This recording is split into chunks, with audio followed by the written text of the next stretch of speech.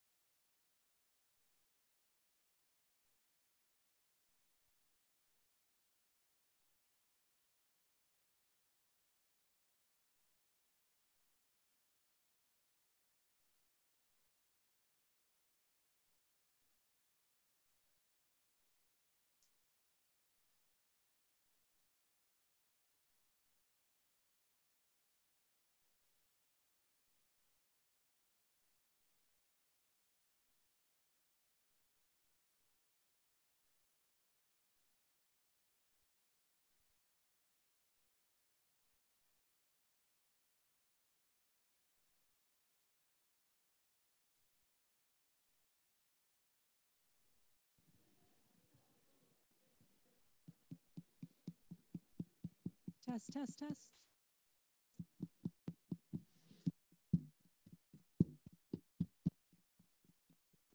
Okay, testing. Hello and welcome everybody. I think we're ready. Buongiorno e benvenuti a tutti. Credo che siamo pronti per iniziare. Grazie a tutti per essere qui tutti insieme all'interno della sede della WISC, ma anche online. Io mi chiamo Carol Balz e lavoro per questo evento. La maggior parte di questo evento si svolgerà in inglese, ma ovviamente è possibile anche seguire la traduzione e potrete anche seguire all'interno del canale YouTube dedicato. A questo punto lanciamo anche l'hashtag per questa giornata di oggi, Care Against Human Trafficking. Saremo molto attenti al nostro orario e quindi mi raccomando non offendetevi dal suono della campanella ogni 15 minuti perché dovremo essere molto attenti.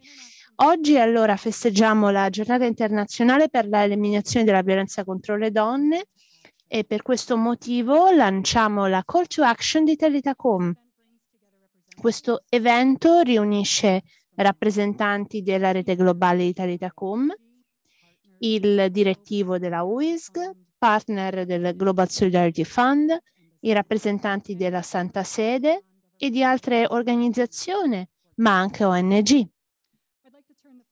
A questo punto vorrei passare la parola per dare il benvenuto a Suor Yolanta Kafka, che era presidente della UISG, Unione Internazionale delle Superiori Generale, è la nostra ospite di oggi. Grazie.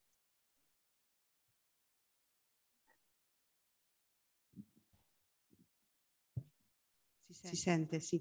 Buonasera. in italiano. Eh, buonasera a tutti, a tutti quelli che siete qui e tutti, e tutti quelli, quelli che si sono collegati attraverso diverse piattaforme e tutti quelli che ci ascolteranno dopo, magari in scadenza. Grazie per essere parte di questo evento oggi, grazie speciali a Sua Eminenza Pietro Parolin, segretario di Stato, la quale presenza l'accogliamo come un segno del, del suo amore personale per, per i più deboli, per un cammino della Chiesa sempre più impegnato nel servizio al, alle persone, alla persona umana, ma anche come, come segno della cura della Chiesa e del Papa Francesco che ci accompagna eh, in questo cammino della solidarietà e di gesti concreti. Mi piacerebbe menzionare a tutti quelli che sono pervenuti qui, gli ambasciatori, le ambasciatrici, eh, rappresentanti specialmente coordinaz- della coordinazione internazionale del Talitacum, come tante persone che hanno collaborato eh, lungo il cammino del Talitacum e specialmente in questa ultima tappa di eh, elaborare il progetto o la dichiarazione eh, Call for Action. Marta Guglielmetti, lo staff del Global Solidarity Fund, eh, Maria Grazia Giammariano, eh, Teresa Albano, Silvia Scarpa, eh, Giulia Cirillo e, certamente eh, da parte della stessa Talita Cum, eh, Gabriella e Pat Murray come segretaria esecutiva della UISG eh, accompagnando il processo.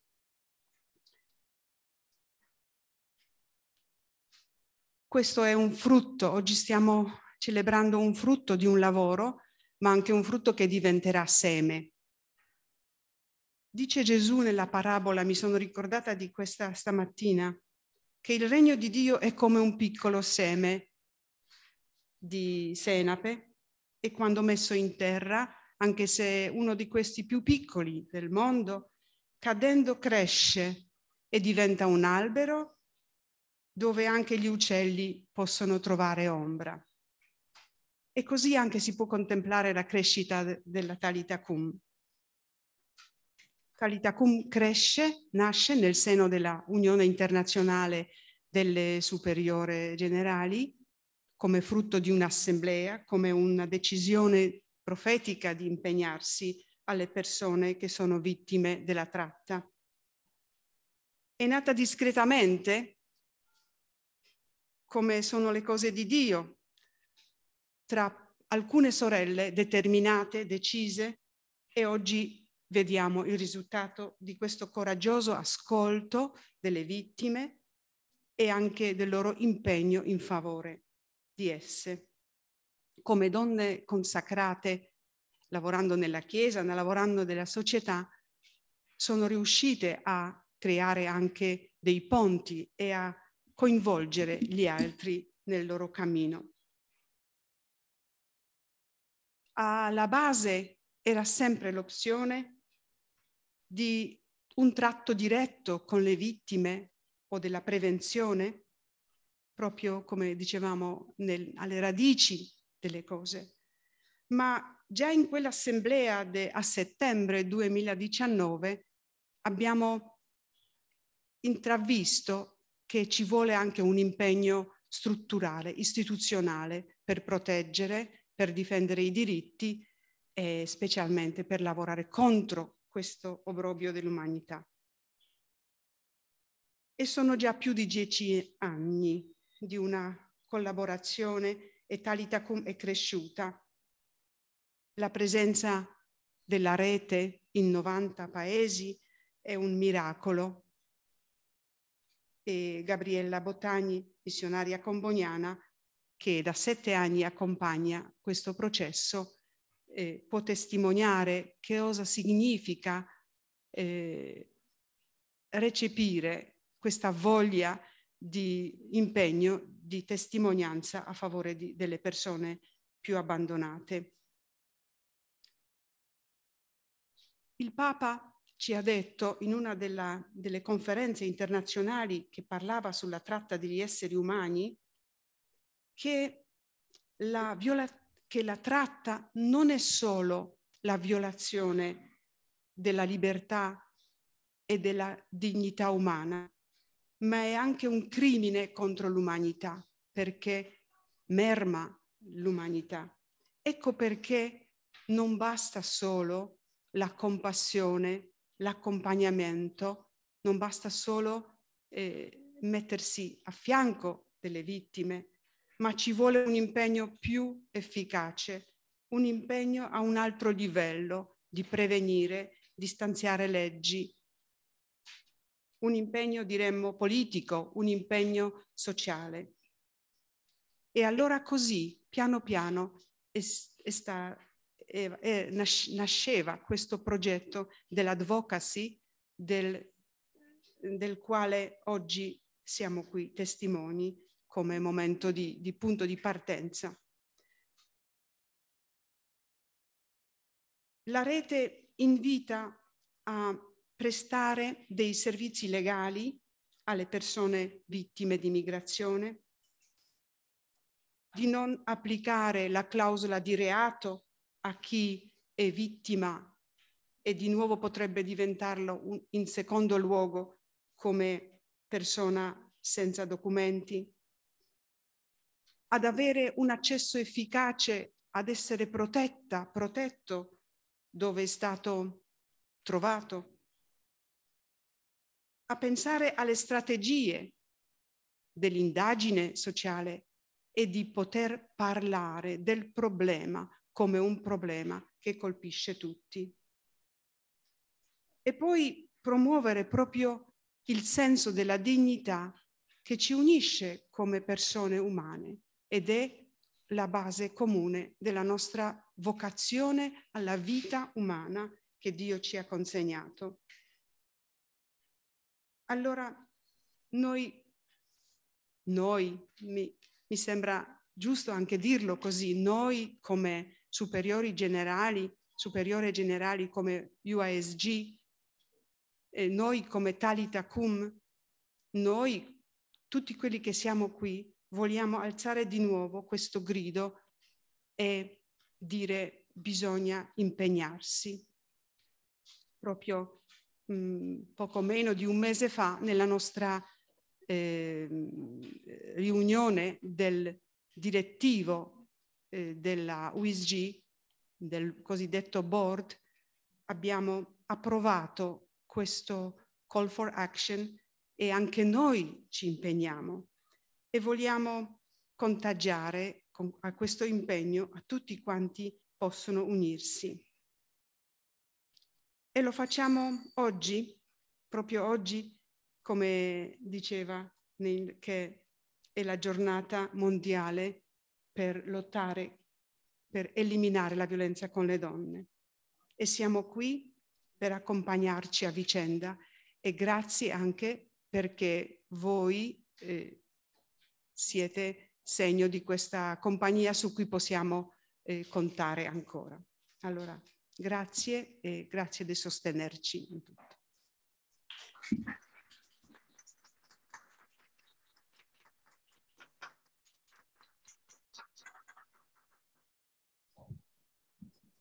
Thank you, Sister Yolanda. Grazie, Suor Yolanda.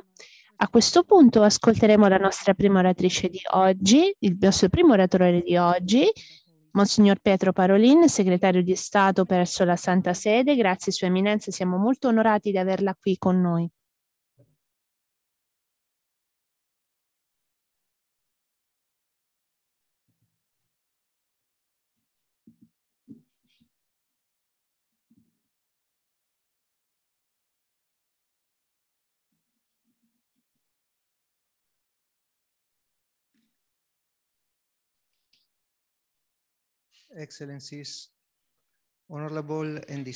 Eccellenze, ospiti, onorabili, onorevoli signore e signori, vorrei iniziare ringraziando sia Suor Yolanda, Presidente della Unione Internazionale delle Superiori Generali, ma anche Suor Gabriella, coordinatrice internazionale per la rete di Talitacom all'interno della WISG per il loro gentile invito a essere presente con voi qui oggi e per offrirvi alcune considerazioni iniziali.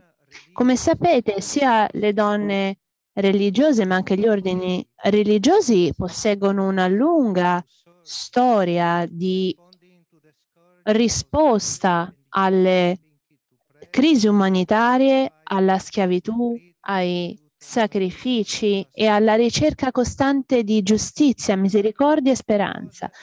Tuttavia è stato solo negli ultimi anni 90 che l'intuizione di riunirsi tutti insieme all'interno di un'unica missione, di un'unica voce, ha portato alla creazione di Talitacom. Frutti di questo lavoro sono innumerevoli. Uno di essi è l'incredibile rete di suore cattoliche, la grande comunità di alleati e di amici che è maturata intorno a loro. Mentre questa partecipazione aumenta, lo stesso accade all'interno dell'impegno per la protezione delle vittime e dei sopravvissuti alla tratta. Oggi celebriamo un altro importante aspetto, un'altra importante fase in questo viaggio. Il documento che ci troviamo davanti è una chiamata all'azione, una call to action, non solo all'interno dei membri di Talitacom, ma per tutte le persone di buona volontà. Questo include anche coloro che posseggono una tradizione religiosa diversa, ma anche background culturali diversi. Oggi vorrei incoraggiare Talitacom a considerare questa missione che ha ispirato questa chiamata alle azioni come una missione a portare la buona novella della nostra fede nel mondo. Gesù, Gesù Cristo ha spezzato i vincoli della schiavitù e veramente ha salvato l'uomo dal peccato e dalla schiavitù. La sua, la sua esperienza di giustizia, di misericordia e di speranza è per tutti un segno. Di fatto, finora, tutti abbiamo avuto modo di conoscere la storia della figlia di Gairo, la giovane ragazza che è stata riportata alla vita dal regno dei morti e per questo Talitacom ha scelto questo nome così potente. Abbiamo tante storie simili nella nostra tradizione cristiana. Persone che sono state salvate all'interno della Bibbia con l'incontro con Cristo. Oggi vorrei considerare con voi due storie di questo tipo e il modo in cui ci aiutano a comprendere meglio ciò che la Chiesa intende quando parla della sua voce profetica, soprattutto per la sua risposta alla schiavitù moderna. Inizierò con una storia, con la storia di Giuseppe nell'Antico Testamento, venduto come schiavo in Egitto, e poi la storia di Maria Maddalena, apostolo all'interno degli apostoli. Iniziamo dunque con Giuseppe. Sappiamo che Giuseppe era il figlio preferito di suo padre Giacobbe e che il fratello di Giacobbe era geloso di questa preferenza e per questo lo vendette come schiavo. Tuttavia, quello che colpisce di più di questa storia è che durante il suo viaggio di prigioniero e di schiavo, Giuseppe mai perse la speranza o la fede nel Signore. Giuseppe è stato tradito dal fratello ed è stato maltrattato da coloro che poi lo imprigionarono e lo dimenticarono. E tuttavia il Signore non lo abbandonò mai. E probabilmente ancora più importante, Giuseppe mai abbandonò il Signore. Infatti, il rapporto di Giuseppe con il Signore rappresenta un'esperienza di cieca fiducia per ciò che si può solo pensare. Giuseppe divenne l'uomo più potente in Egitto, con il potere addirittura di poter condannare suo fratello, ma scelse per lui la misericordia ciò che lo portò a considerare i suoi aguzzini con misericordia fu solo l'esperienza di misericordia provata con il Signore nella sua stessa vita, la capacità di guardare a coloro che ci hanno offeso senza dimenticare la misericordia. E questo parla la voce misericordiosa della Chiesa. In altre parole, ciò che sarebbe altrimenti impossibile diventa possibile tramite l'incontro con Dio. Così come Giuseppe, anche Maria di Magdala ha potuto incontrare l'amore dei suoi fratelli, sebbene non fosse, non sia mai stato sicuro se lei sia stata veramente una prostituta, la tradizione ci dice che Maria Maddalena fu difesa nella sua dignità. Lo sguardo di Gesù su Maria non solo cambiò i cuori di coloro che li circondarono, restituì, le restituì la dignità, ma cambiò anche il cuore di coloro che avrebbero tirato su di lei la prima pietra. E nel momento in cui Maria si pentì dei suoi peccati non era da sola.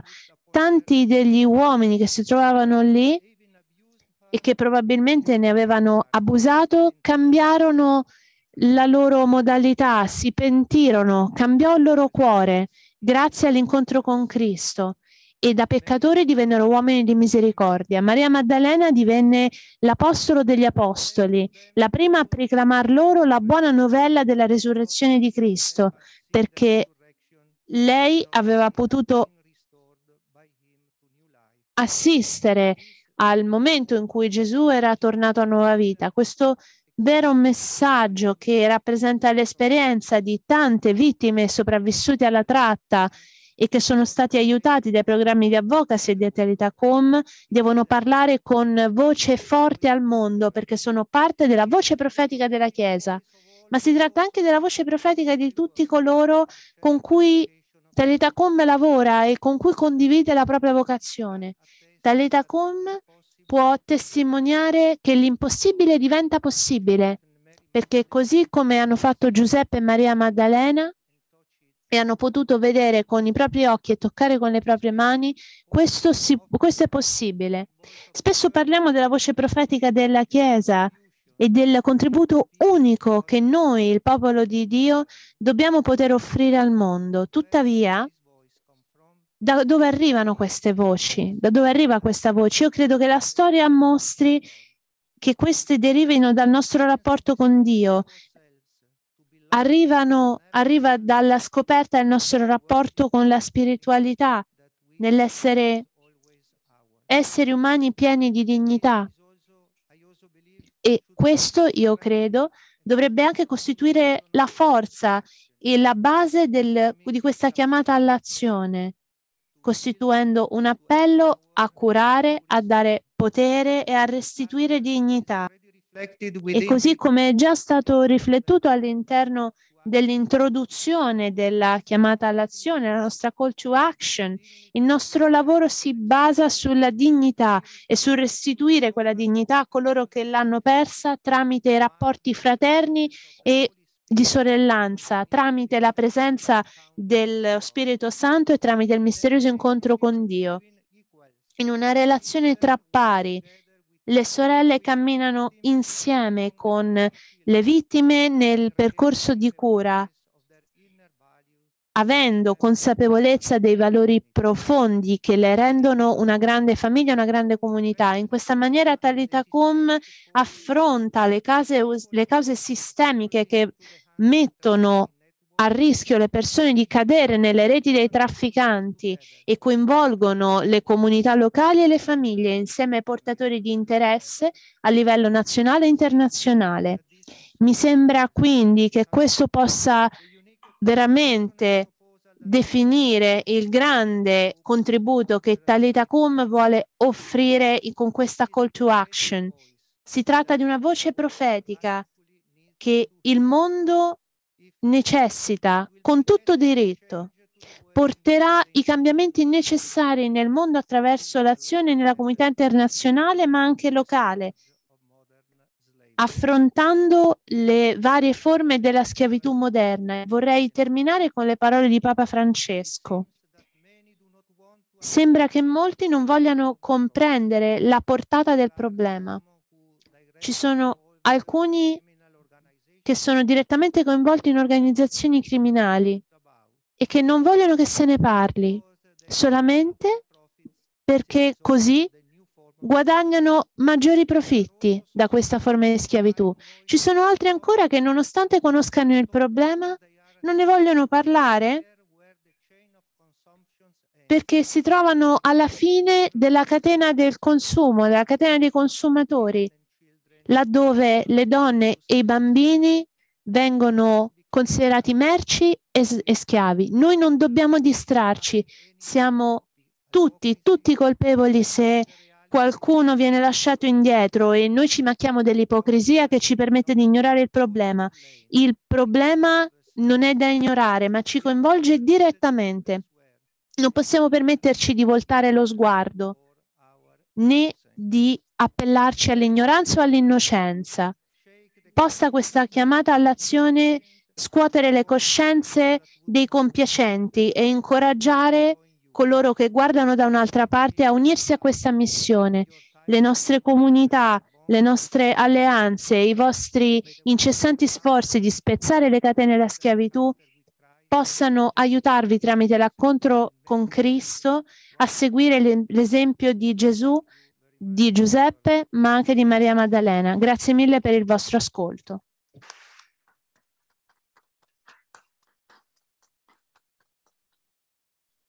Thank you, Cardinal. Grazie mille. So che il sostegno della Santa Sede a Talitacum è fondamentale.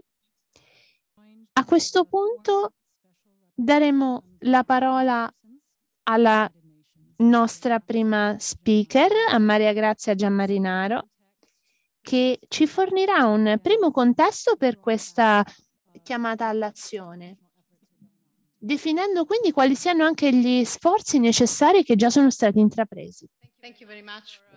Grazie mille per avermi invitata.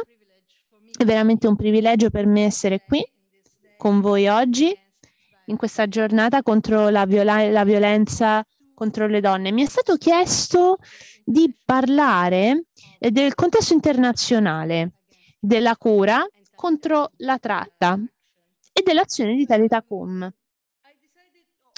Io ovviamente ci sono tanti modi di parlare del contesto internazionale, ma io personalmente ho deciso di scegliere di parlare dal punto di vista di coloro che vengono sfruttati e di parlare della loro vulnerabilità e delle cause che la originano. I migranti e le donne migranti in particolare sono particolarmente vulnerabili alla tratta e allo sfruttamento non perché siano deboli, ma perché hanno una posizione subordinata nelle gerarchie patriarcali. E questo porta anche allo sfruttamento del corpo femminile.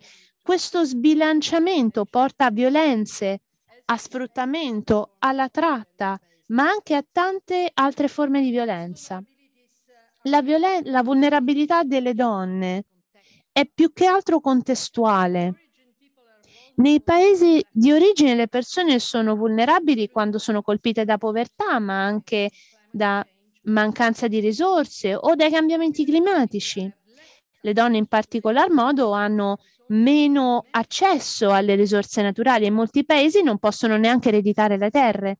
Questo porta a una mancanza di mezzi di sussistenza che a sua volta induce molte donne a migrare in condizioni non sicure, in, in situazioni di conflitto e le persone a questo punto spesso si trovano a dover affrontare situazioni di grande pericolo in cui anche ragazzi e ragazze vengono reclutati come soldato oppure addirittura cadono in condizioni di schiavitù diventando cuochi eh, o addirittura schiavi sessuali.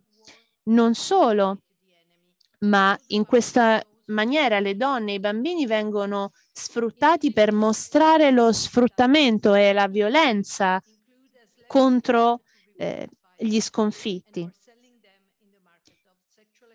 Questo permette alle donne e bambini di essere venduti all'interno di eh, mercati di sfruttamento sessuale. Queste atrocità portano al cosiddetto ciclo di violenza in cui tante donne cercano di scappare da situazioni di conflitto e ricadono in, in relazioni abusive che risultano in ulteriore violenza e in grande sfruttamento, soprattutto le donne che patiscono stupri o schiavità sessuale durante i conflitti e cercano di scappare, spesso ricadono in situazioni di grave sfruttamento sessuale. Quando le persone cercano di scappare da situazioni di conflitto, la loro condizione li mette a rischio di abusi e di sfruttatori e come spesso ci viene chiesto dai facilitatori, in questa disperata ricerca di eh, denaro i migranti vengono fatti vittime di schiavitù e di indicibili forme di violenza e questo è accaduto quotidianamente in Libia in situazioni in cui le persone devono patire eh, questioni incredibili. Le donne soprattutto vengono tenute prigioniere in case di collegamento in cui vengono sottoposte a qualunque forma di violenza e sfruttamento finché i trafficanti non decidono di eh, inviarle verso il proprio destino su barconi. Questa è la situazione di tante donne che arrivano in Italia coste, dalle coste del Mediterraneo. Addirittura, e sappiamo bene, almeno 27 persone proprio negli ultimi giorni sono morte in questi canali così poco sicuri. Molto spesso i migranti per poter continuare il loro viaggio sono obbligati a contrarre debiti con i contrabbandieri e spesso sono obbligati a loro volta di lavorare, a lavorare per ripagare questo debito. A questo punto il, gli sfruttatori hanno pieno potere sui eh, migranti e decidono di farli lavorare in qualunque situazione e in condizioni inumane dove i migranti non hanno diritto a, un, a, a poter avere mezzi di sussistenza, a poter bere, mangiare, ad avere un luogo sicuro.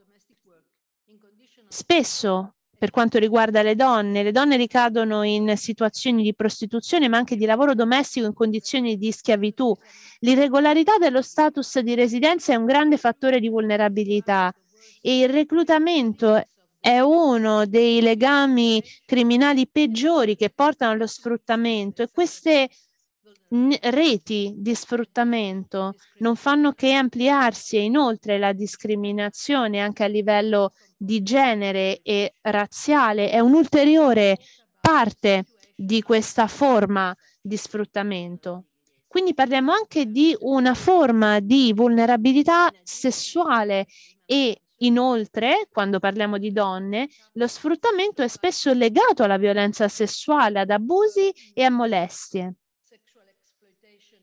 Lo sviluppo, la violenza sessuale rimane una delle forme di violenza peggiori che spesso distrugge il senso di identità delle donne. Sebbene non tutte le donne vengano sottoposte a sfruttamento sessuale, le donne e le ragazze corrispondono alla grande maggioranza di persone che vengono sfruttate sessualmente grande attenzione dovrebbe essere data alle vulnerabilità legate all'identità di genere. Le persone LGBTQ, soprattutto i transgender, sono particolarmente prese di mira per lo sfruttamento sessuale. Infine, la vulnerabilità può essere anche conseguenza della tratta di persone. Le persone sfruttate vengono stigmatizzate sistematicamente quando tornano a casa perché sono diventate un onere per le loro famiglie e questa situazione può portare a un'ulteriore tratta o in altre forme di vittimizzazione.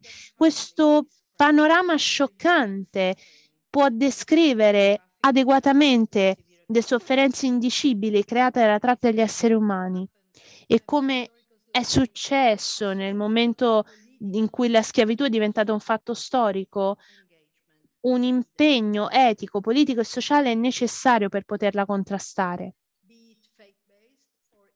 che sia basato sulla fede o legato a valori secolari, ma che comunque dia valore alla libertà umana e alla dignità. Prima di concludere, permettetemi di dire qualche parola sulla call to action Italitacom. Io ho avuto la possibilità e il privilegio di collaborare con Talitacom e ho sempre apprezzato e ammirato la, il loro approccio così accurato, misericordioso, basato sull'amore e sulla sorellanza. Prendersi cura è una parola importante per tutte le donne. Nella, nella, divisione tradizionale del lavoro e nella sfera domestica è sempre assegnata alle donne. Tuttavia questo destino, disegnato da norme sociali patriarcali, è diventato per le donne una fonte di ispirazione, di competenza e di definizione etica. Nel contesto della tratta delle persone, quando le vittime le persone a rischio comprendono che qualcuno veramente si sta prendendo cura di loro, nonostante siano stati umiliati, violati, non per via di interessi personali, ma solo per la salute della vittima, tutto cambia. La cura apre un percorso di trasformazione per entrambe le parti, quella che offre e quella che riceve cura. E in questo senso l'azione delle donne consacrate può, e in effetti lo fa, fare la differenza per via della sua autenticità e credibilità. La cura è una parte importante di quello che di solito facciamo nel contesto familiare o nelle relazioni amicali perché la persona che è stata colpita per noi diventa motivo di cura. Quando ci prendiamo cura di una persona vittima di tratta, sappiamo che la cura è la prima azione che porta a una ripresa. Curare significa a volte far dimenticare alle persone quello che hanno patito e poi portarle a digerire il loro trauma. Dare potere alle vittime amplificando la loro voce. Spesso è necessario che queste voci vengano sentite, ma non possiamo darlo per scontato perché non tutte le autorità lo fanno. E sappiamo che molto spesso le autorità ascoltano solo quello che vogliono sentire e spesso non ascoltano quelle che vengono considerate le vittime. E una, voce del, e una voce di una vittima viene improvvisamente ammutolita per via di questa poca volontà di ascolto. Bisogna far comprendere a queste vittime che hanno un valore e sono persone che devono poter alzare la loro voce perché hanno subito dei traumi. Concludo dicendo che ripristinare la dignità umana promuovendo l'accesso alla giustizia è fondamentale. Quando qualcuno si trova in una posizione in cui ha dei diritti e questi diritti possono essere riconosciuti e protetti tramite delle procedure giudiziarie, significa che la persona in questione non è più una vittima, ma un cittadino. E questo pertanto è un impasso importante verso una piena inclusione sociale dei sopravvissuti. Grazie per la vostra attenzione.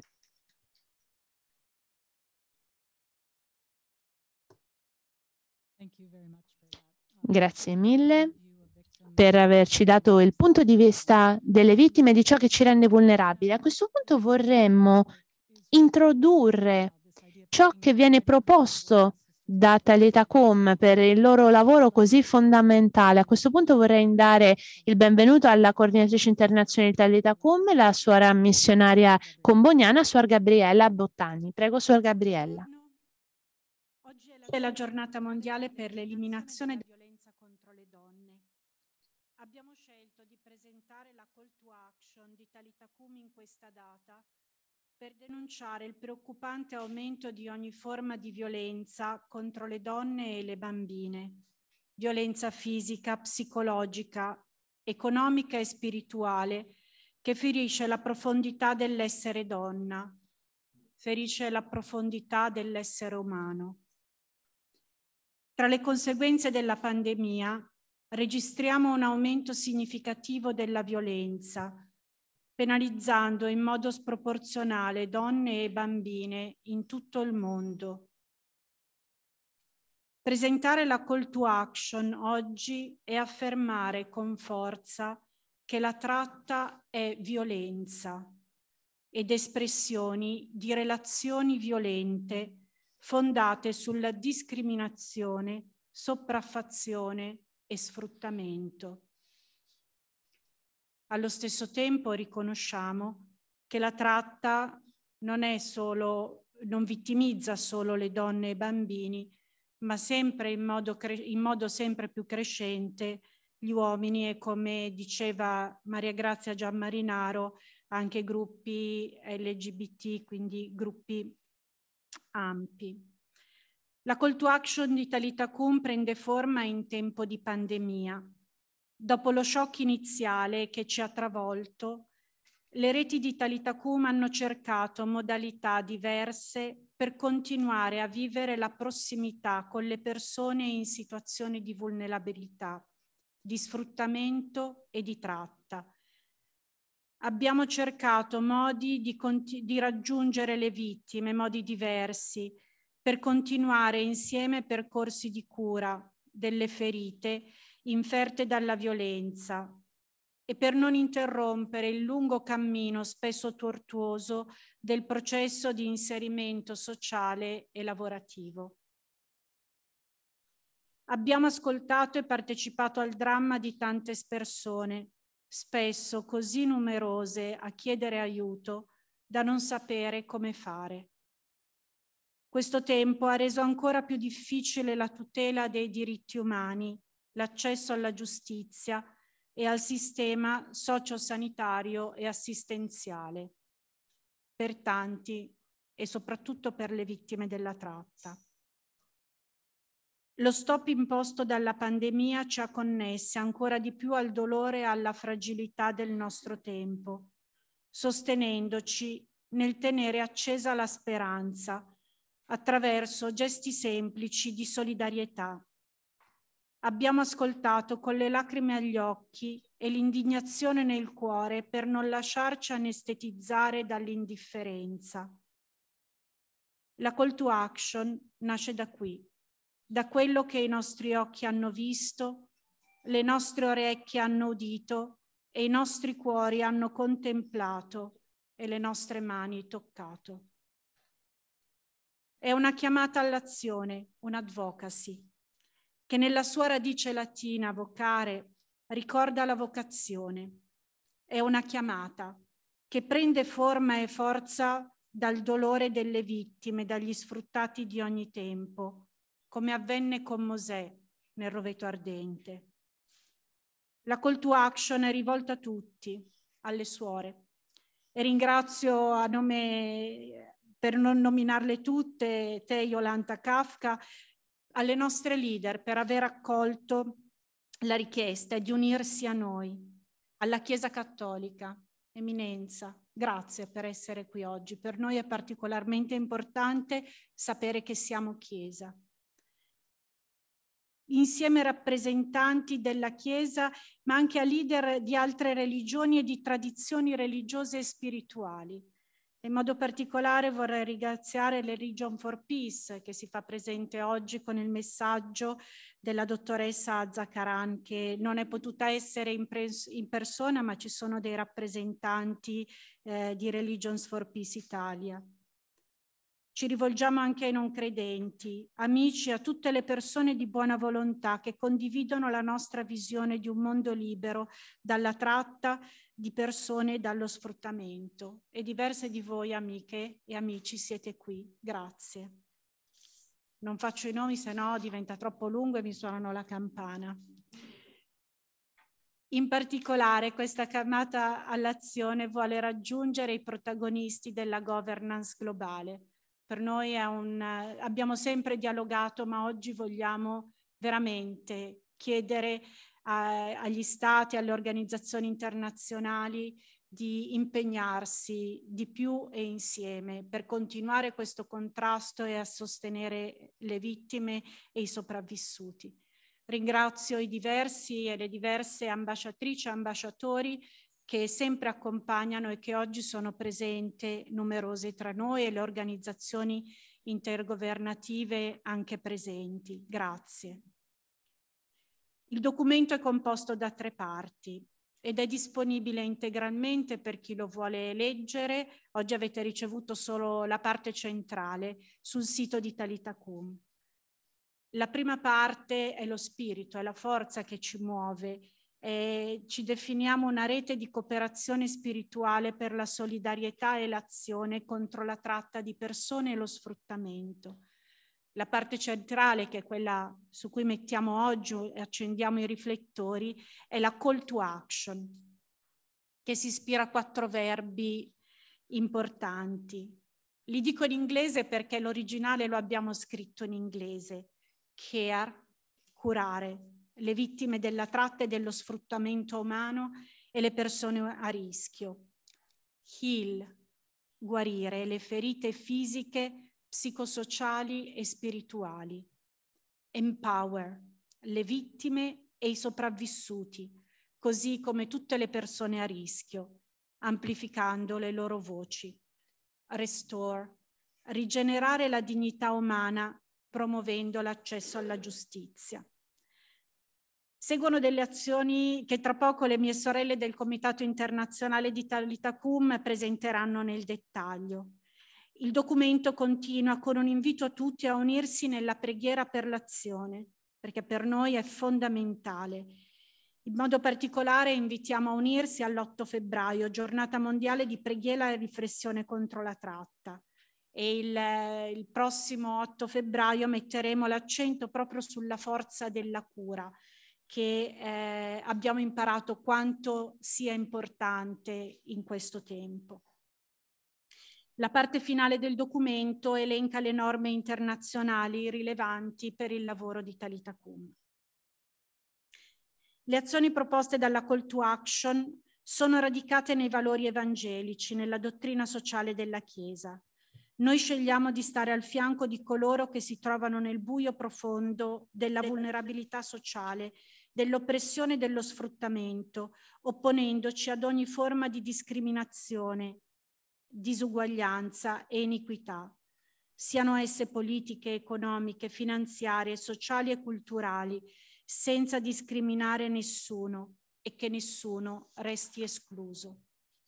Curare, guarire, empower e rigenerare vanno oltre l'azione sono stili di vita che abbracciano individui, relazioni comunitarie, sociali e anche con la natura, perché la tratta di persone e ogni forma di sfruttamento terminerà solamente se trasformiamo i nostri comportamenti individuali e collettivi, agendo di forma integrata per eliminazione delle cause sistemiche e nel contempo sostenendo le singole persone e le comunità che maggiormente soffrono le conseguenze della violenza dello sfruttamento sia della natura che delle persone, offrendo percorsi alternativi e sostenibili di liberazione e di inserimento sociale e lavorativo.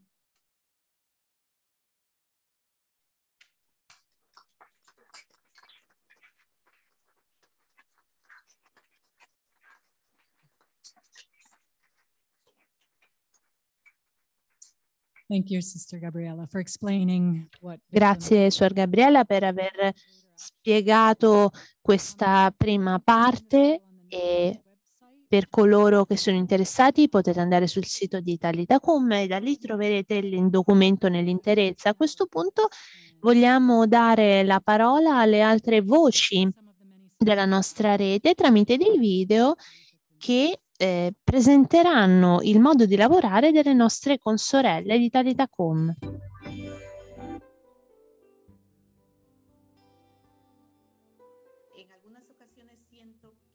A volte sento che ci si concentra sugli effetti della tratta, i volti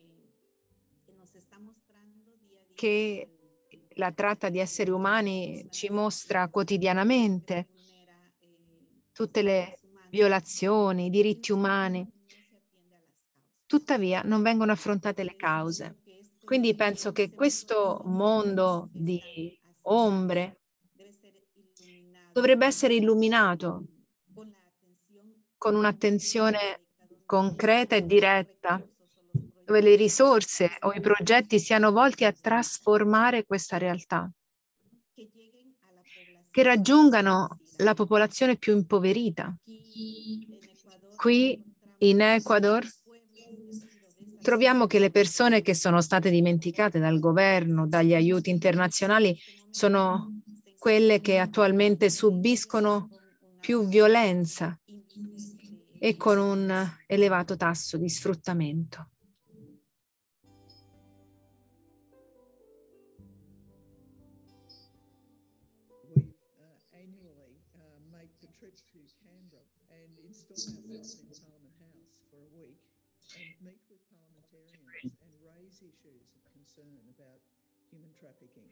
Abbiamo potuto sollevare questioni riguardanti la tratta degli esseri umani. Uno di questi punti che ha fatto parte della nostra agenda per tanti anni è stato lo sfruttamento di 22 uomini provenienti da Vanuatu, una isola del Pacifico, che sono stati portati in Australia come lavoratori e sono stati sfruttati terribilmente senza essere pagati Ora, proprio questa settimana non solo hanno ricevuto i loro pagamenti, ma è stata presa una decisione a livello federale secondo cui tutti i lavoratori del settore agricolo debbano essere pagati con un reddito regolare.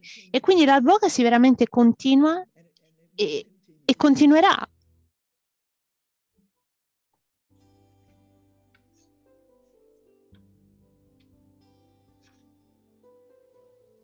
Penso che è molto importante il lavoro è molto importante la collaborazione tra i diversi attori, le ONG, la società civile e in questo abbiamo fatto dei passi in avanti.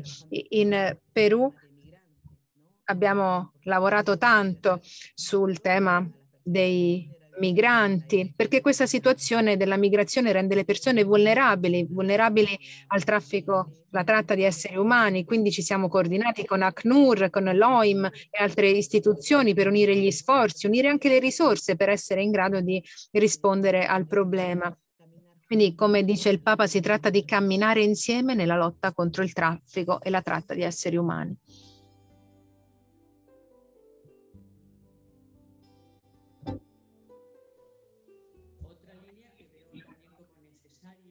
Un altro aspetto che ritengo necessario per tutti noi per lavorare insieme è l'intera questione della sensibilizzazione. È molto difficile gestire programmi di accoglienza rispetto, rispetto alle frontiere quando stiamo spaventando le nostre società stiamo facendo in modo che la gente abbia paura di chi è diverso, dicono eh, sì, dicono sia una vittima della tratta, ma chissà se è nel racket della prostituzione o se ha scelto lei di farlo.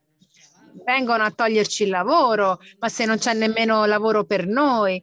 Quindi una serie di argomenti che sono davvero incoraggiati dai governi e dai mezzi di comunicazione. Quindi penso che in termini di sensibilizzazione ci sia molto lavoro ancora da fare con le organizzazioni di governi per creare società più fraterne, per creare quelle società di cui parla il Papa nella sua ultima enciclica, di unirci in questo noi collettivo.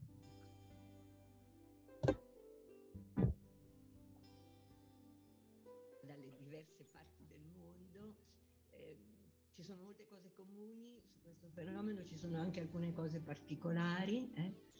Comunque credo che, almeno per quanto riguarda l'Italia, veramente adesso abbiamo sfide da affrontare che ci intimidiscono un po' perché non siamo attrezzati. No? Eh, credo che il, diciamo, il grande peccato da cui noi riusciamo a redimerci, ma non solo quando si parla di tratta, è quello di inseguire le emergenze ma eh, di, non, di, non, prevedere, insomma, ecco, oppure di costruire eh, cose anche di, di, eccellenza che però rispondono a esigenze immediate e diventano poi un peso da sostenere perché non, c'è quella flessibilità. Cioè, siamo in un momento in cui dobbiamo, qualcuno dice, eh, riorganizzare, ma proprio radicalmente il, nostra, il nostro modo di lavorare no? eh, per contrastare la tratta.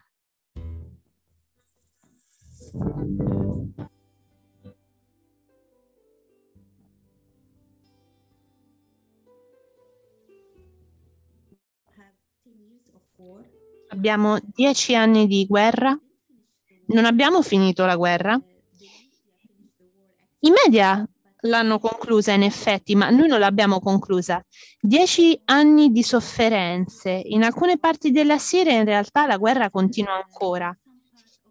In alcune parti, bene, le bombe, i bombardamenti sono terminati, ma la crisi economica aumenta di giorno in giorno.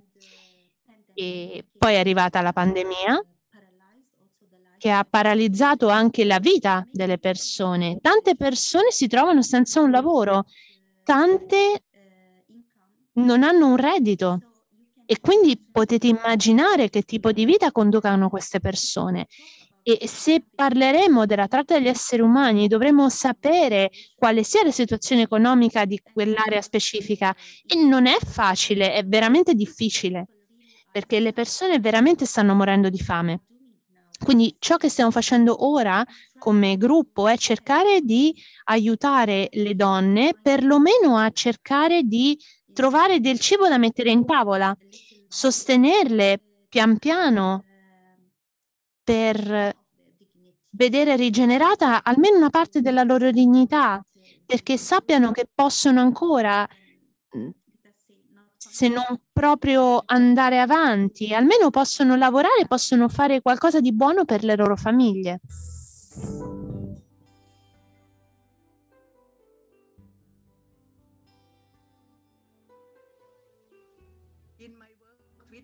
Nel mio lavoro con persone a rischio di cadere nella tratta degli esseri umani, soprattutto bambini e alcune donne molto giovani, il valore della cura è veramente di grande significato, soprattutto perché quando ci prendiamo cura di loro, diciamo loro, noi, noi, tu ed io, siamo sorelle o fratelli, apparteniamo ad una famiglia, abbiamo un padre, un Dio e quindi siamo uguali.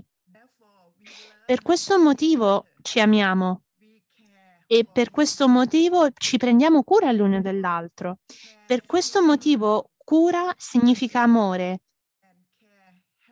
e la cura ha veramente lo stesso significato dell'amore di Dio e dell'amore verso il prossimo. Questa è la regola, la regola d'oro del Vangelo.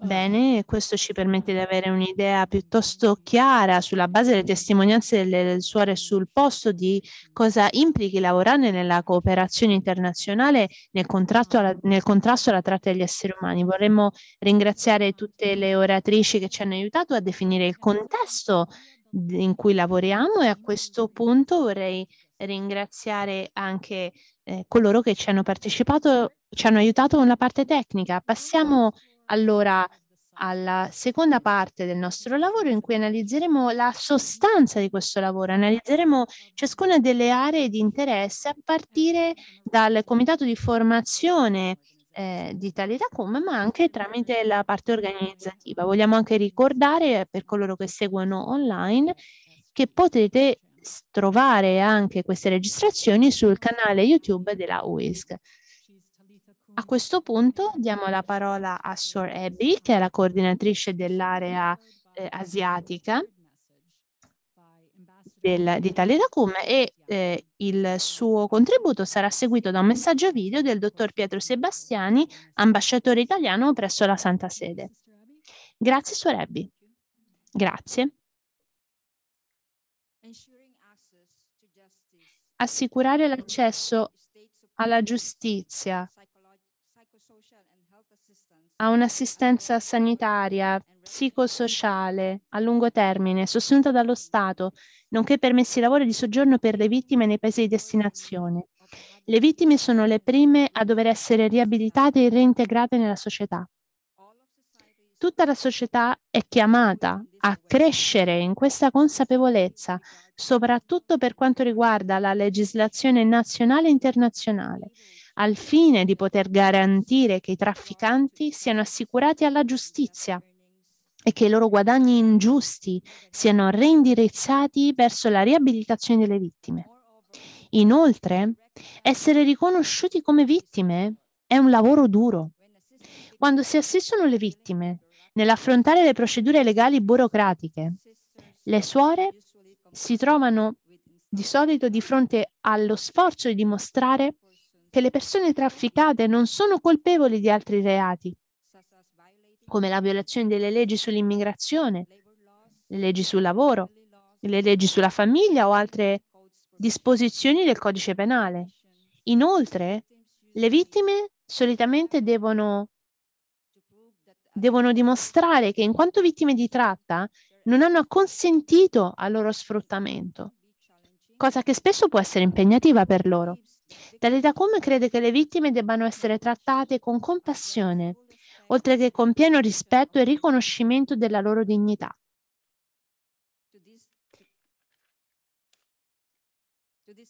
A tal fine, la rete si rivolge in particolare agli stakeholder della governance mondiale per la fornitura di servizi legali supportati dallo Stato alle vittime della tratta e per misure appropriate al fine di garantire la loro sicurezza e quella di chi le assiste.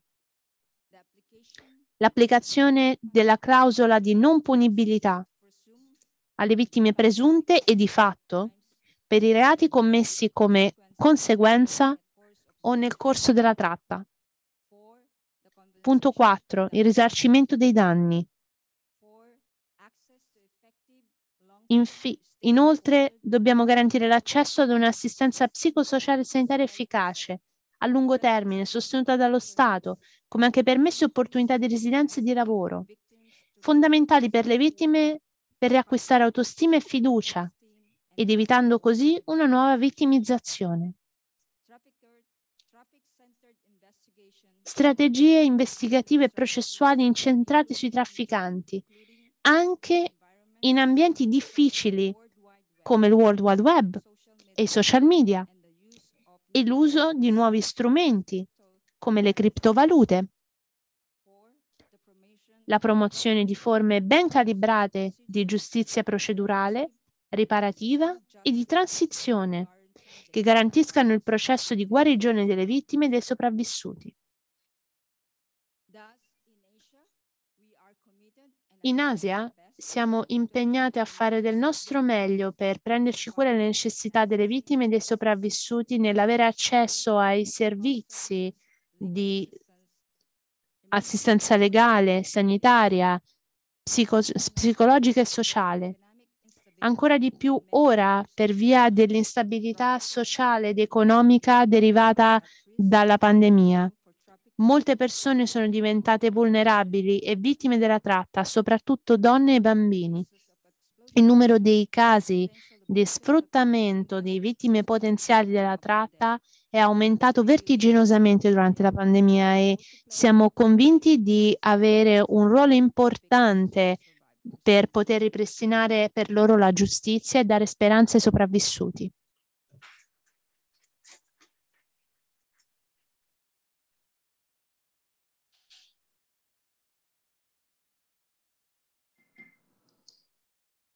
Ringrazio la loro impeccabile azione di contrasto al traffico e allo sfruttamento degli esseri umani in tutto il mondo e per aver aiutato a partecipare a questa importante campagna. Ringrazio in particolare Suor Bottani che conosco e ammiro da molti anni e con la quale abbiamo realizzato anche alcuni eventi su questi temi a Palazzo Borromeo, sede dell'Ambasciata d'Italia presso la Santa Sede. Da ultimo lo scorso maggio. È importante infatti sensibilizzare l'opinione pubblica mondiale e rispondere con decisione alla piaga della tratta degli esseri umani, descritta dal Santo Padre come una ferita aperta nel corpo della società contemporanea.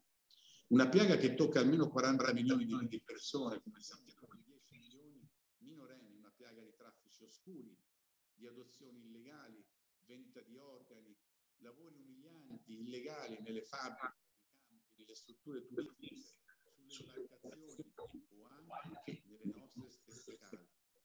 Perché un fenomeno che processo tocca sia i paesi sulla strada dello sviluppo sia quelli più sviluppati. E la pandemia, lo sappiamo, ha peggiorato questa situazione, spingendo ad esempio lo sfruttamento sessuale dei minori dalle strade all'interno delle case e online.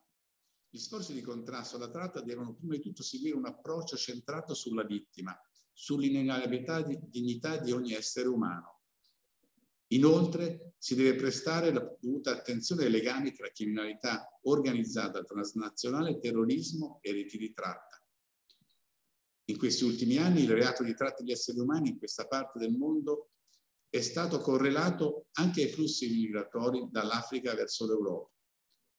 Il quadro giuridico è, da, è, fornito innanzitutto dal protocollo per prevenire, reprimere e punire la tratta di persone, in particolare donne e bambini, che indica la Convenzione delle Nazioni Unite contro la criminalità organizzata transnazionale, nota come Convenzione di Palermo, di cui ovviamente l'Italia fa parte. Perché la lotta alla tratta degli esseri umani è una priorità della nostra politica estera e del nostro multilateralismo. Per questo abbiamo finanziato molti progetti delle Nazioni Unite volti a rafforzare la cooperazione giudiziaria e ad aumentare la fornitura di servizi essenziali di assistenza alle vittime. Ricordo anche tanti esempi concreti della nostra cooperazione, di quando guidavo la cooperazione italiana allo sviluppo e prima ancora come ambasciatore presso l'Agenzia delle Nazioni Unite in Italia. Ma proprio per questo sappiamo, so che la cooperazione pubblica da sola non basta Dobbiamo valorizzare approcci multidisciplinari che coinvolgano in un lavoro sinergico molti portatori di interessi, dal settore pubblico a quello privato, perché la tratta di esseri umani è un fenomeno complesso, con una dimensione globale, da bisogno di un forte sistema multilaterale che invece, lo sappiamo, negli ultimi anni si è purtroppo molto indebolito. Per fermare e prevenire la tratta, la comunità internazionale deve rispondere in modo efficace e coordinato le organizzazioni sovranazionali, i paesi, all'interno della società civile e le istituzioni. A questo proposito vorrei ricordare la buona prassi italiana dei corridoi umanitari, che è diventata la più avanzata a livello europeo per quanto riguarda l'accoglienza dei rifugiati, perché consente l'ingresso legale e sicuro sul territorio italiano con un visto umanitario e la possibilità di presentare successivamente domande di asilo Tale prassi è stata confermata e rinnovata anche di recente con il protocollo per la realizzazione di corridoi umanitari e evacuazioni per l'Afghanistan, sottoscritto dal Ministero italiano degli Esteri e dell'Interno, dall'OIM, dall'UNHCR, dalla CEI Caritas, dalla Federazione delle Chiese Evangeliche d'Italia, dalla Tavola Valdese e altre organizzazioni della società civile. Auspico davvero per concludere che il progetto dei corridoi umanitari possa essere applicato e sempre più rafforzato ovunque, all'interno di un innovato sistema di asilo, per esempio in Europa, ma anche in altri paesi del mondo, per poter assicurare un futuro e ridare dignità alle persone con maggiori vulnerabilità.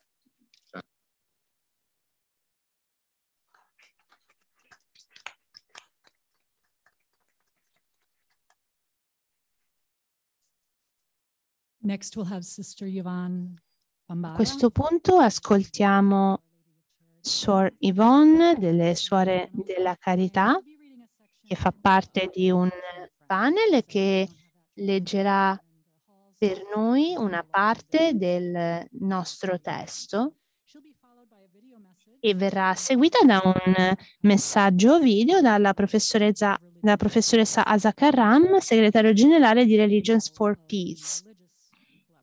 E parlerà della collaborazione internazionale, ma innanzitutto Suor Yvonne, coordinatrice internazionale. Grazie. Empowering women and girls. Quindi dare autonomia, rinforzare le vittime dandogli voce. Talita Kum ha ritenuto importante rafforzare l'aiuto alle donne a tutti i livelli, alle vittime, sia a livello politico, religioso, eh, sociale, psicologico. Si tratterebbe di un fattore importante per andare contro l'abuso delle donne.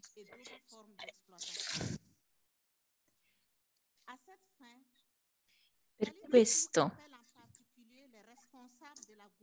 Talita Kum chiama i responsabili dei governi internazionali ad adottare delle misure per migliorare la sensibilizzazione, per eliminare i gruppi di potere che sono legati al genere, caratter- altre caratteristiche sociali, origini etniche, statuti sociali e effetti cumulativi di forme diverse di sfruttamento. Assicurare legalità di avere un'educazione, un'istruzione di qualità alla formazione professionale e all'impiego delle donne, delle figlie, particolarmente per i sopravvissuti e i vittimi della tratta. Garantire le eh, uguaglianze mh, rispetto ai diritti delle donne in tutti i eh, settori e particolarmente quelli dove le donne sono più esposte al rischio di sfruttamento, eh, i lavori domestici, l'agricoltura, eh, i domini di alimentare e eh, anche di eh, case di accoglienza.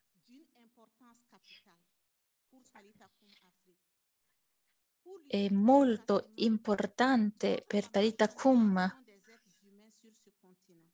eh, in Africa, quindi la responsabilizzazione delle donne in Africa è molto importante. E con i mezzi molto modesti che abbiamo abbiamo cercato di mettere a disposizione delle attività professionali e modi per aiutare le donne per eh, arrivare a riconoscersi come figli di Dio o figlie di Dio eh, dignitose. Pace, pace a tutti voi, come diciamo nella mia tradizione religiosa, è un onore per me, un privilegio parlare con voi su questa tematica così importante come quella delle, eh, della tratta degli esseri umani, soprattutto dare potere, empower le donne alle bambine. Io non sono sempre a favore di questo, ma sono a favore della possibilità di lavorare tutti insieme e creare capacità e creare spazi sicuri tanto da poter rendere responsabili i nostri leader civili, politici, religiosi perché ho servito come rappresentante all'interno di Religions for Peace, ho avuto l'opportunità di avere a che fare anche con rappresentanti eh, delle varie confessioni religiose. Una delle lezioni che diventano sempre più chiare è la questione della sfida di veder collaborare i leader religiosi e politici. Non c'è possibilità di discussione sul fatto che alcune delle vittime più volente che hanno sofferto di più, che continuano a soffrire di più, sono bambini, bambine e donne, non perché siano più vulnerabili, ma perché fanno parte di categorie più vulnerabili. Siamo molto grati al lavoro di Talitacom e tuttavia voglio vedere ancora più impegno e da parte di tutta la comunità internazionale rispetto a quello che ho potuto testimoniare, ma voglio veramente sollevare tanto di cappello se lo avessi per ringraziare del lavoro di Tagliacum e del loro instancabile lavoro. E la vostra assistenza è fondamentale, necessaria.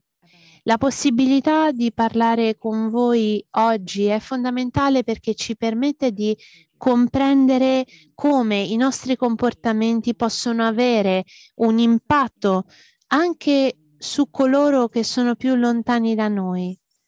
Dobbiamo poter coinvolgere anche i leader religiosi, le istituzioni che spesso hanno perso parte del loro pubblico, ma continuano ad essere i più potenti agenti di trasformazione nel mondo odierno. Non c'è modo in cui possiamo pensare di, pensare di dar potere alle donne e alle bambine per poter essere attive e libere se non quello di dare loro, di restituire loro la dignità di cui sono state private. Non possiamo considerare questo impegno senza l'impegno congiunto delle istituzioni religiose. Talitacom è una è un'organizzazione basata su uno spirito religioso profondo e fondamentale.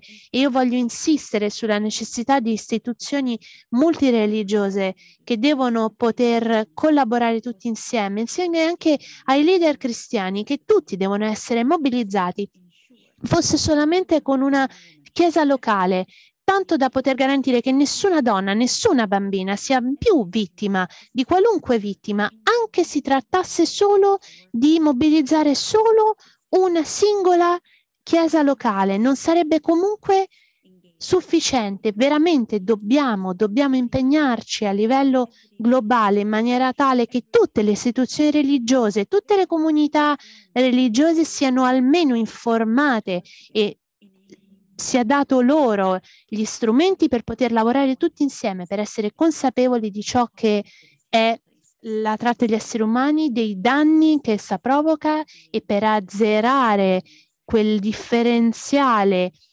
esistente per poter affrontare le necessità delle donne e delle bambine, non per sopravvivere ma per fiorire, perché non basta mettere fine alla tratta degli esseri umani, non basta mettere fine alla tratta, dovremo avere, l'avremo nelle nostre mani il peso tremendo di una popolazione ferita ed è questo su cui ci dobbiamo concentrare. Anche qui dovremo portare cura e non lo possiamo fare come una singola società civile.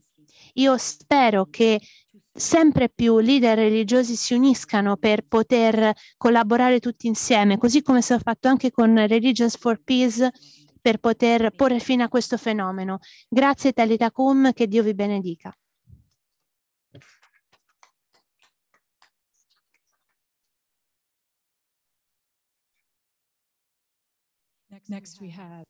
A questo punto abbiamo con noi Suor Maria Luisa Puglisi, che è membro delle Suore della Carità e che verrà seguita da una riflessione di eh, nostro rappresentante per la, ehm, alla Santa Sede e della sua dell'Organizzazione Internazionale per le Migrazioni. A questo punto ascoltiamo allora eh, Suor Maria Luisa, che è la coordinatrice di Talitacom per l'Europa.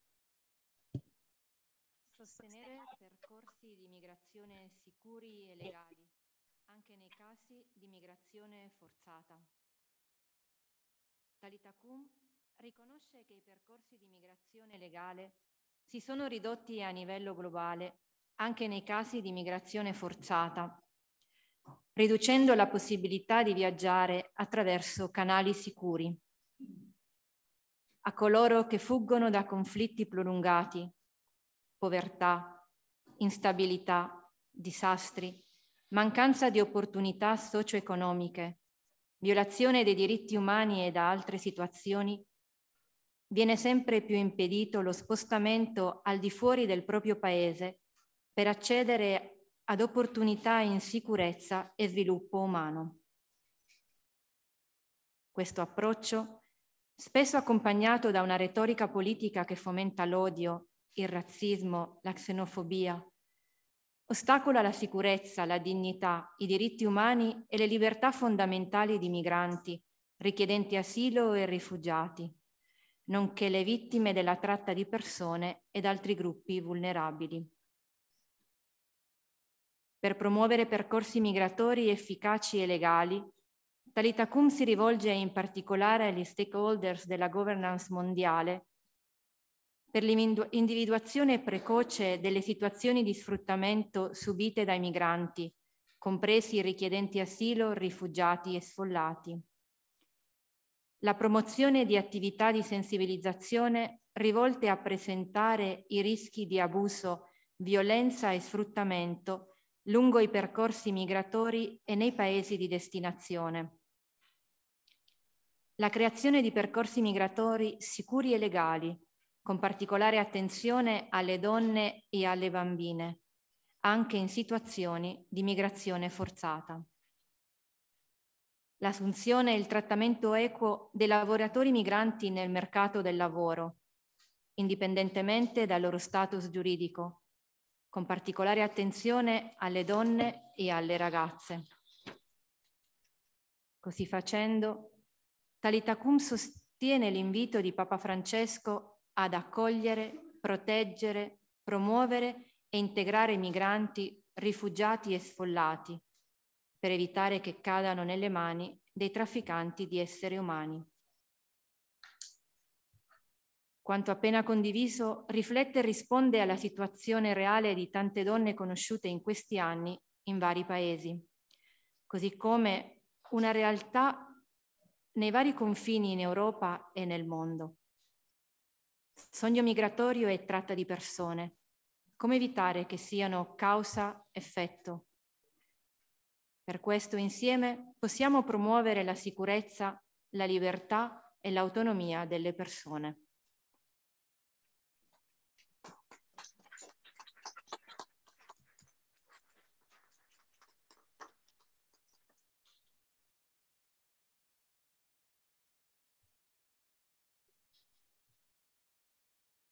Buonasera. Good afternoon. Ho il privilegio oggi di poter parlare a nome del rappresentante presso la Santa Sede dell'Organizzazione Internazionale per la Migrazione e ho potuto, ho, parlo io a nome suo perché oggi purtroppo non ha potuto unirsi a noi.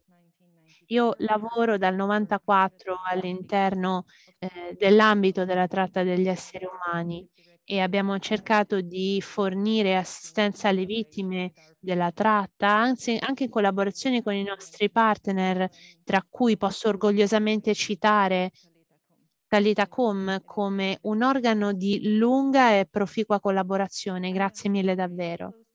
Io ho collaborato fianco a fianco con organizzazioni internazionali, ONG e organizzazioni nazionali sui pilastri della protezione, prosecuzione e prevenzione.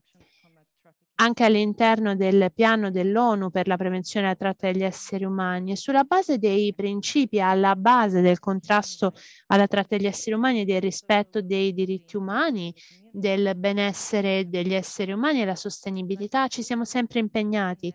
E come le voci della rete che abbiamo appena ascoltato, io credo che questo fenomeno possa essere contrastato solo dall'interezza della società e dei governi creando delle partnership solide e profonde tramite una cooperazione tecnica che migliori la capacità della società e dei governi di affrontare le difficoltà pratiche delle vittime e sostenerle nelle loro necessità, ma anche fornendo quelle prove necessarie per lo sviluppo di politiche mirate.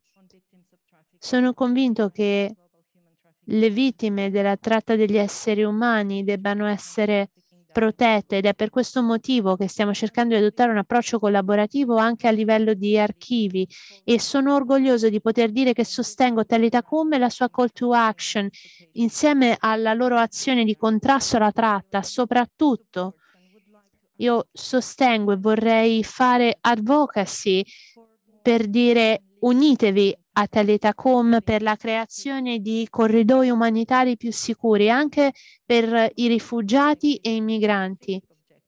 Questo è in linea con i piani ONU, con l'obiettivo numero 10 eh, degli obiettivi di sviluppo delle Nazioni Unite, l'obiettivo numero 23, il rafforzamento della cooperazione internazionale l'obiettivo numero 5, che è quello di promuovere la flessibilità per le migrazioni, l'obiettivo numero 6, facilitare delle condizioni più sicure per i lavoratori, l'obiettivo numero 2, minimizzare i fattori che pongono a rischio le persone di cadere nella tratta.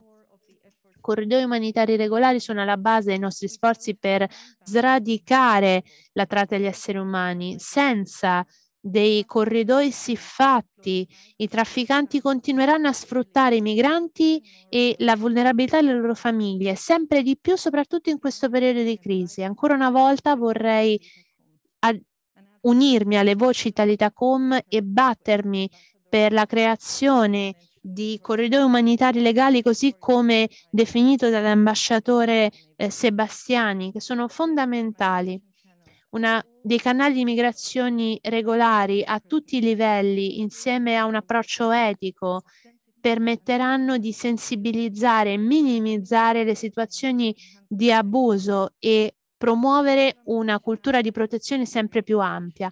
Una migrazione regolare mirata al ricongiungimento familiare fa parte della nostra storia ed è anche per questo motivo che bisogna affrontare le questioni più negative e pericolose rafforzare la coesione sociale, tanto da promuovere degli approcci di sensibilità a tutti i livelli. È così che noi ci vogliamo unire alla call to action di Talitacom per promuovere i diritti dei migranti e delle persone rifugiate. Grazie per la vostra attenzione. Thank you, Ms. Grazie. A questo punto ascolteremo Suor Carmen Garcia, che è qui con noi nel panel e che verrà seguita dal messaggio di Suor Angela e che è a sua volta parte delle, di Mercy International. A questo punto ascoltiamo Suor Carmen, che è la coordinatrice per la parte dell'America.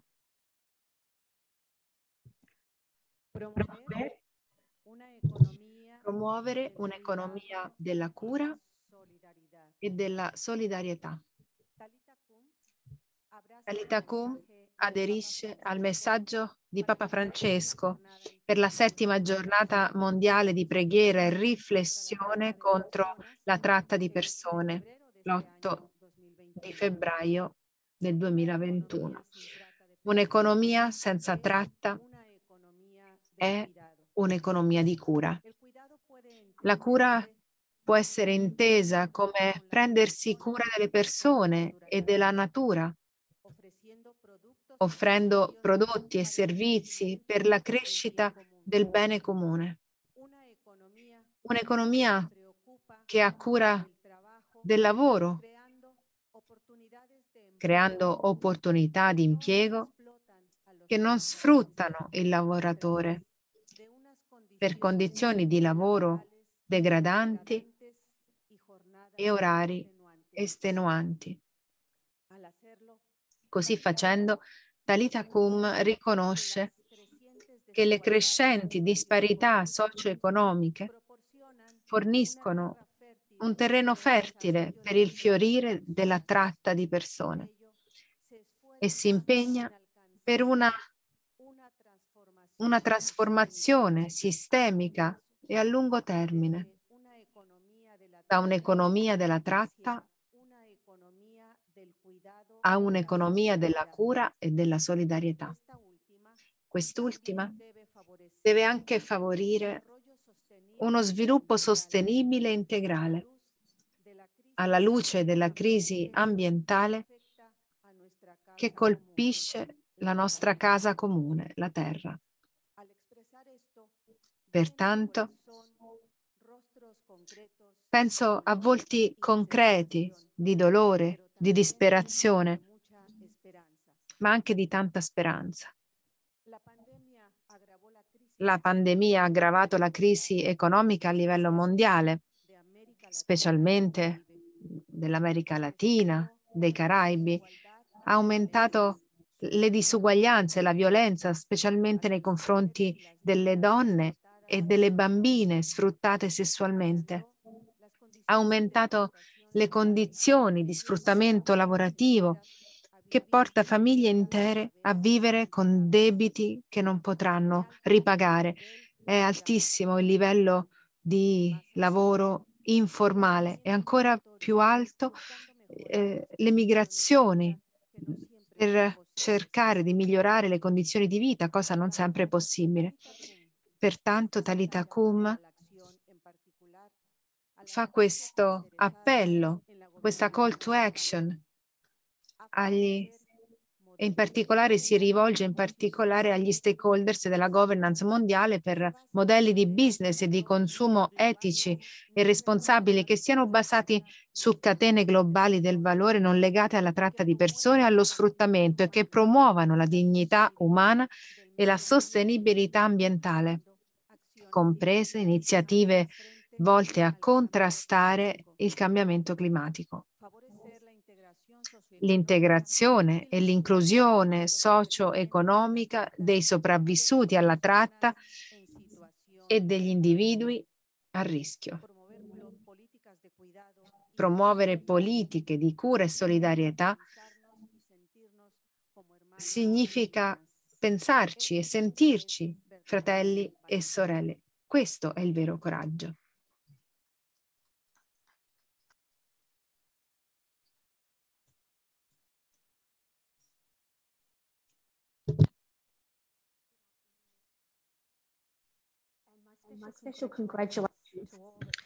I miei complimenti e congratulazioni a Talitacum per la loro call to action. So che il processo di creazione di questa call to action è stato molto lungo, soprattutto sulla base della preparazione, delle intuizioni, delle raccomandazioni sopravvissuti, ma anche della saggezza della comunità di Talitacum che ha lavorato da sempre con le vittime della tratta. È un onore e un privilegio per me questo pomeriggio poter fornirvi delle riflessioni su un'economia di cura e di solidarietà, tanto da poter lavorare insieme per porre fine allo sfruttamento e alla tratta degli esseri umani. Vorrei iniziare a condividere con voi la storia di Katrina, che ha dovuto vivere una situazione di sfruttamento quando era bambina. Io ho incontrato Katrina molti anni fa quando stavo cercando di comprendere al meglio il fenomeno della tratta.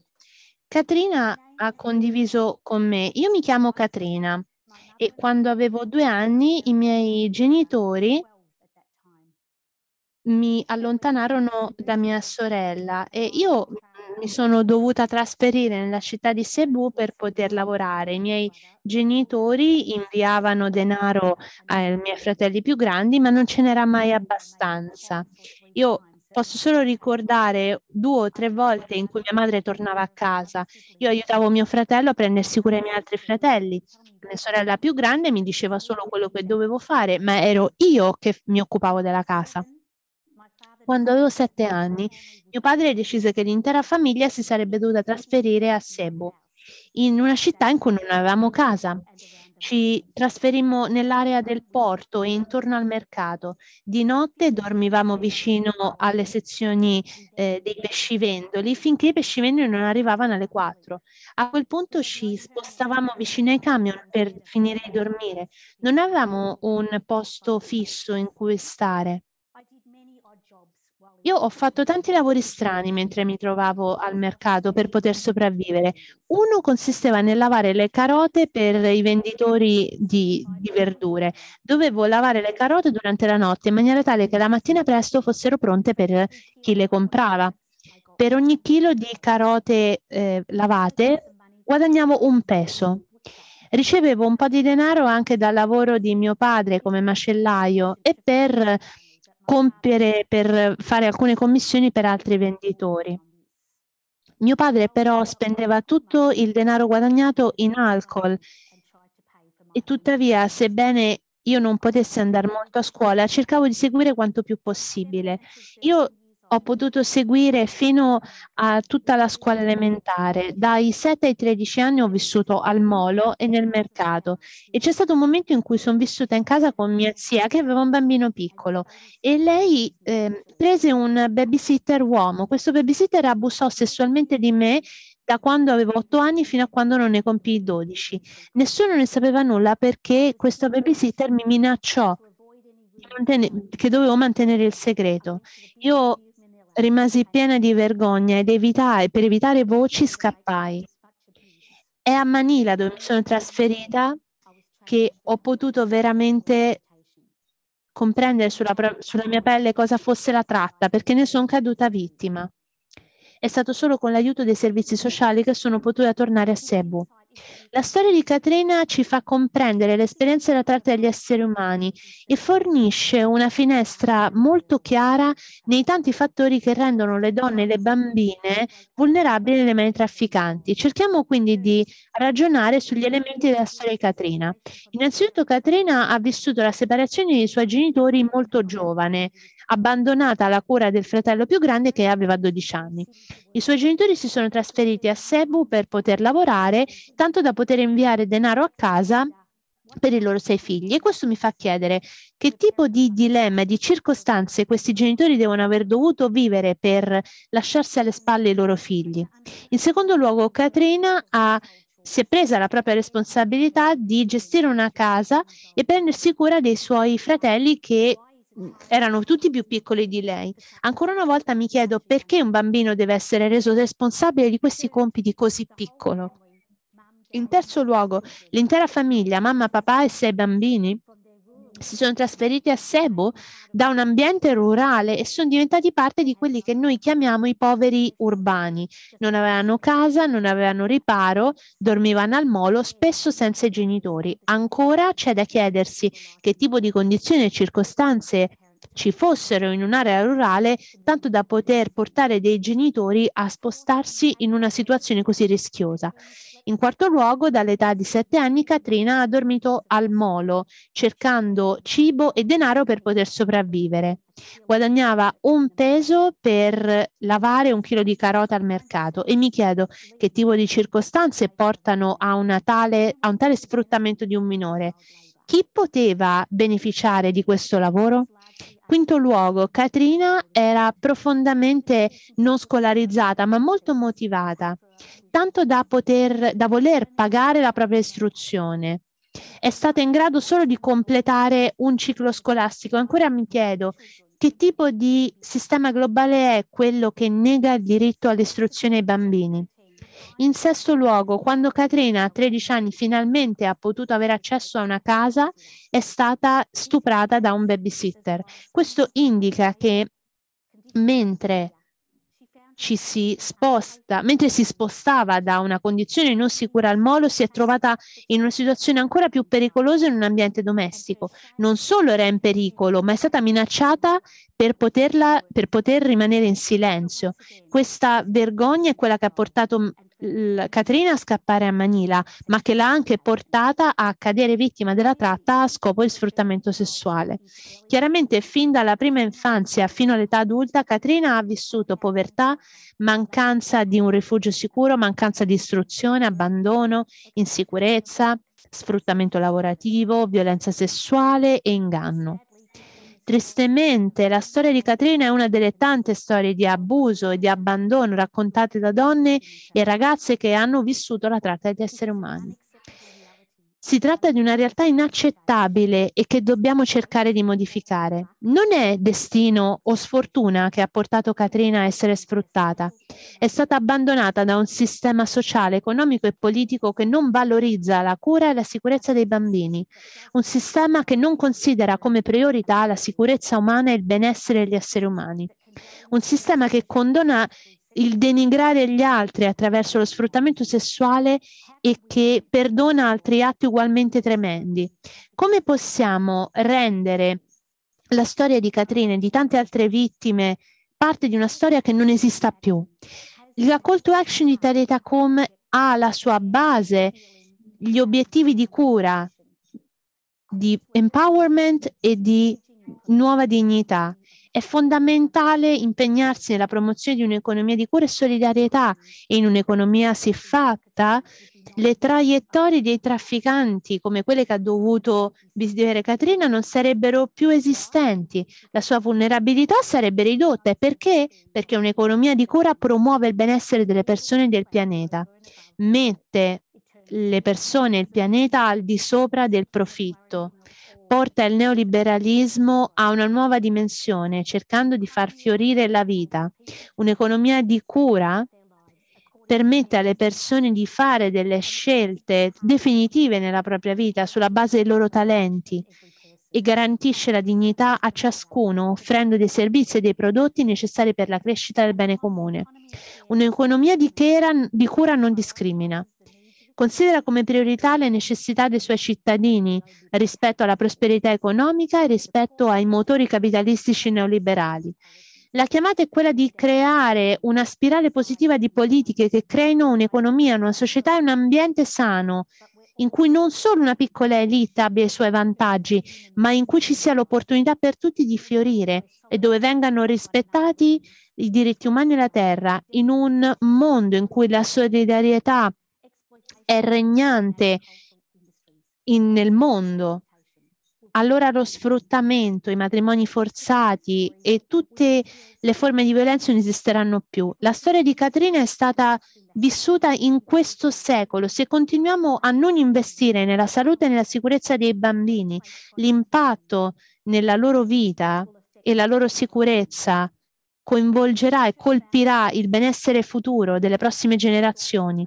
La misura del nostro successo consisterà nell'ascoltare storie di coloro che si sono trovati a vivere un'esperienza di tratta degli esseri umani, storie di coloro che continuano a mettere in discussione un sistema che persegue l'ingiustizia come suore, come cattolici, come leader religiosi, come non credenti, come alleati, come persone di buona volontà che condividono una visione di un mondo libero dalla tratta degli esseri umani e dallo sfruttamento, dobbiamo continuare a batterci per un'economia una società e un sistema politico alternativo. Abbiamo ottime agende da seguire, soprattutto le lettere laudato sia fratelli tutti Papa Francesco, ma anche la Carta dei diritti umani dell'ONU, gli obiettivi di sviluppo sostenibile che chiedono che nessuno sia lasciato indietro e naturalmente il Vangelo. Come gente di Vangelo abbiamo la responsabilità gli uni negli altri nei confronti del mondo e possiamo essere un popolo di speranza e pregare per un mondo in cui tutti potremo vivere liberi dall'oppressione. Talitacum porta alta la bandiera per un nuovo ordine mondiale, una chiamata coraggiosa alla solidarietà globale in cui tutti siano valorizzati, in cui nessuno abbia fame, abbia paura o sia abbandonato. In questo mondo le persone possono fiorire in un ambiente davvero privo di sfruttamento. Congratulazioni Italia.com per questo passo così importante.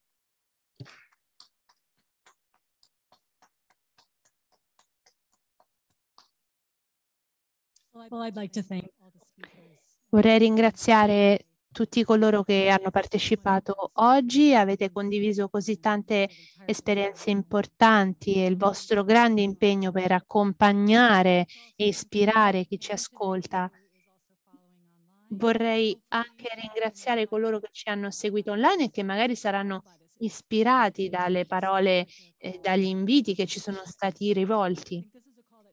Credo che veramente questa sia una chiamata da considerare con serietà e con importanza. Bisogna veramente affrontare con serietà il problema e comprendere da dove deriva. E troverete tutti i documenti online all'interno del sito Talitacum, talitacum.info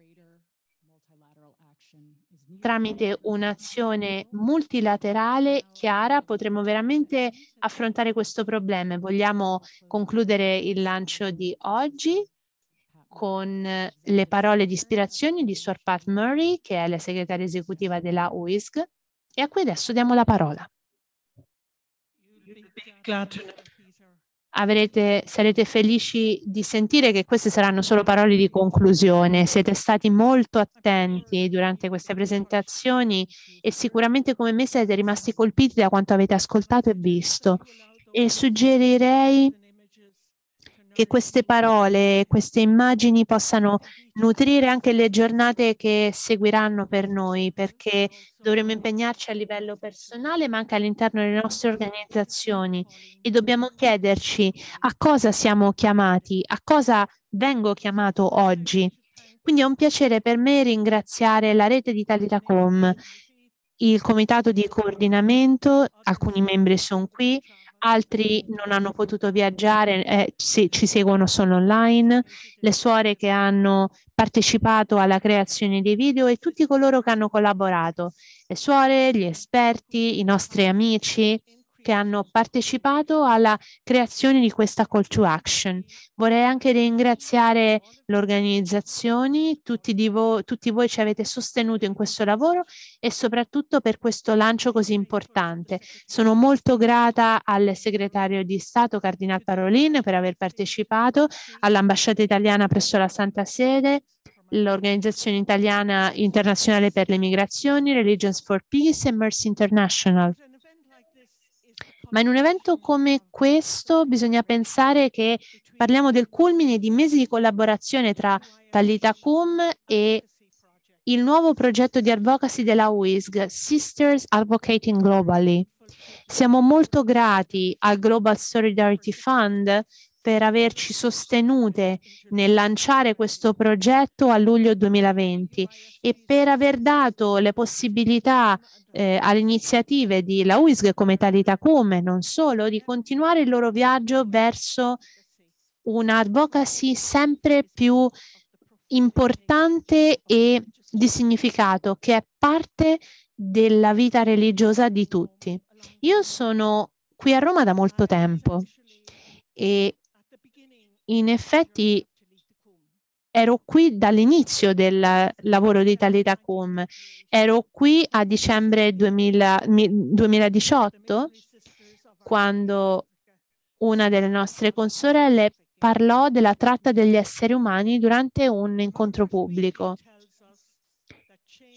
Queste storie ci raccontano che spesso il cambiamento inizia con una singola conversazione e quella singola conversazione che io personalmente ho avuto a dicembre di tanti anni fa porta ad altre conversazioni che infine hanno portato alla creazione di Talitacom. Quindi quali sono le conversazioni che invece voi dovrete creare tanto da poter promuovere e portare il messaggio di Talita come le vostre organizzazioni. Io vi chiedo di guardare il simbolo della mano. La mano che è aperta, ma anche è sollevata, è rivolta verso l'alto, una mano che ci chiama a prenderci cura, a curare, a dare potere e a rigenerare. E quindi per ciascuno di noi cosa significa questa mano? Come ci prenderemo cura, come cureremo, come daremo potere, come rigenereremo attraverso la vostra azione, attraverso le vostre organizzazioni, attraverso le vostre riflessioni e attraverso le vostre campagne di sensibilizzazione. Quindi oggi iniziamo un viaggio Iniziamo un viaggio insieme con tutti coloro che sono qui in questa stanza, con le vostre reti, con i vostri partner, con i vostri conoscenti, con tutte le persone di varie confessioni, di non di nessuna fede, tutte le persone di buona volontà che vogliono porre fine al dramma della tratta degli esseri umani.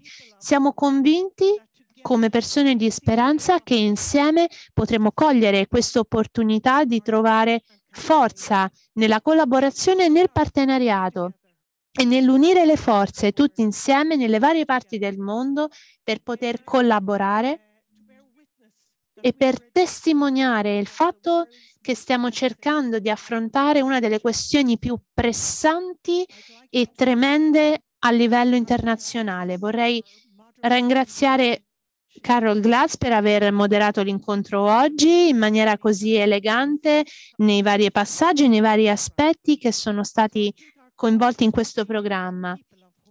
Credo che siamo chiamati a essere persone di speranza che prenderanno le successive misure per questo viaggio e Papa Francesco ci dice spesso come sorelle andiamo con coraggio. Quindi grazie e solo vorrei dire ci sono qui fuori c'è un piccolo buffet per voi ora che uscirete. Grazie per essere stati qui con noi oggi.